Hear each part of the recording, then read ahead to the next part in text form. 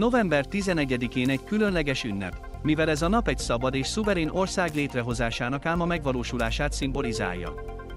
Mi, magyarok, ezt a napot tiszteletben tartjuk a függetlenségért harcoló lengyel hazafiak önfeláldozó küzdelme előtt, és a történelmi történelmi helyreállítása előtt igazság, visszatekintünk a lengyel állam függetlenségére, írta Viktor Orbán.